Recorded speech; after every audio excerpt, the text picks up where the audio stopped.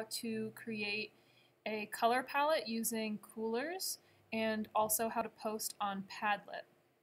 So this is on slide 15 and what you need to do is you're going to create a color palette that represents or portrays each of these adjectives. So you want to create a color scheme that you feel represents calm and another one that you think represents silly and playful. So this will be different for everybody depending on what kind of moods or emotions they feel are associated with colors. So there is no right or wrong answer for this. You're then going to export each of the separate color palettes as an image, and then we're going to upload to Padlet. So let's click on this link here to coolors.co.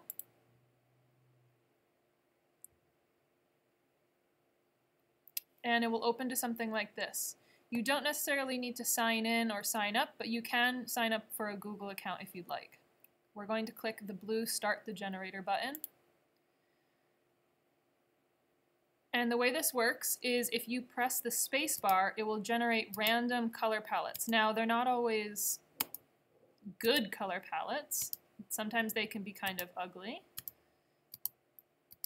And you have some different controls with the colors. So you can click through until you find colors that you want. So let's say I like this color here, Pacific Blue. So if I want, I could lock it and then continue to press the spacebar, and you'll notice that Pacific Blue stays there. So let's say I also like this purple, but I want to get a little bit of a lighter color. So you can click on this grid where it says View Shades, and you can choose from a variety of shades or tints. Shades are ones that are mixed with black and are darker. Tints are ones that are mixed with white and are a bit lighter. So I'm going to choose this one, and then I'm going to also lock it. This arrow here allows you to drag the colors around so you can customize how the color palette looks. If you would like to choose a color rather than click through with the space bar until you find something you like, you can click on the color numbers here and then click under hex and choose picker. And this allows you to select whatever color you like. So maybe I want to do something a little bit lighter here. Okay. And then I'm going to lock that one as well, and I'm going to drag it over here because I think it will look nicer next to the Pacific Blue. And then I'm going to continue to hit the space bar. And I like this color, but I'm just going to do it maybe a bit darker. I'm going to drag this over here, and then I'm going to choose my last color. So notice that I'm locking each one once I've found the color I want. I'm going to try to do a lighter color this time. Maybe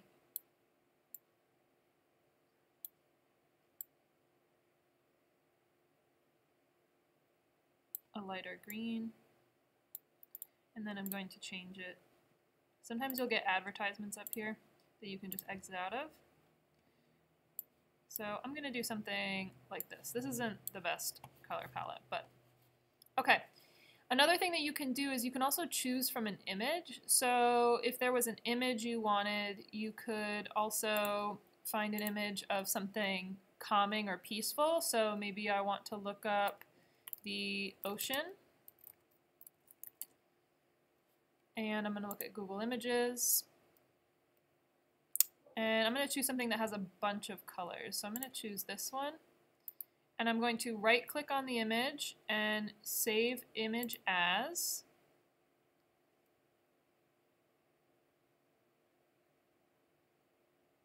My computer is slow right now. I'm going to save it to my downloads as sunset and then I'm going to go back here.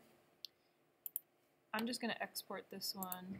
So you can click the export button and then we're going to choose image and I'm just going to name this as calm slash peaceful one export.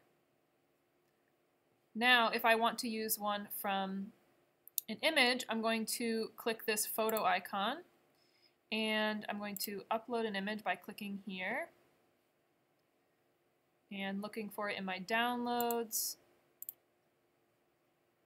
And then I can click on each color below and drag it around until I find colors that I like. So I'm going to look for something a light blue, maybe a little bit darker blue, and maybe something a bit brighter, like a bright red.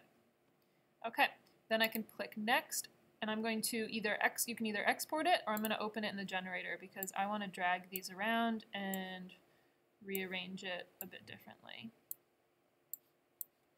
Okay, so now I'm going to export this one as well. This is also calm, peaceful. Okay, so now I need to put these on Padlet. So if we go back to the Google Slides, this link is going to actually just bring you to another slide in the slide deck, which is slide number two. And it has all of the links. So we're looking for Padlet, and then you want to choose which period you are, period one, five, or six. Make sure that you choose the correct one. So I'm going to choose period one. Now, when you open Padlet, um, I'm automatically signed in, but when you open it, yours is going to, anytime you add a post, it's going to show up as anonymous. Now you want to make sure that you log in or make an account really easily um, because otherwise it's going to show up as anonymous and I won't know whose it is and I won't be able to grade you. So if I were to log out, I can press sign up or log in and then you're going to choose to sign up with Google and choose your Google account, your school account. Oh, mine didn't work for some reason.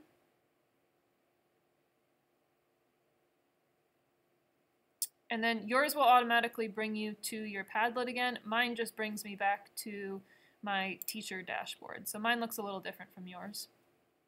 And then to create a post, you can either double click on the screen or you can choose the pink plus button in the right hand corner.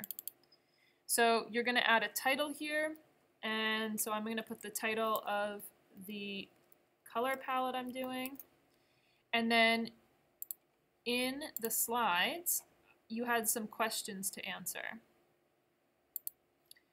So I want you to write in the description what do you imagine or visualize when you think of that adjective. So basically, why did you choose those colors? So I'm going to go back, too many tabs open. So I'm going to upload my photo, pick file, calm and peaceful. And I'll write, I chose to use colors that are from ocean or beach. Escape.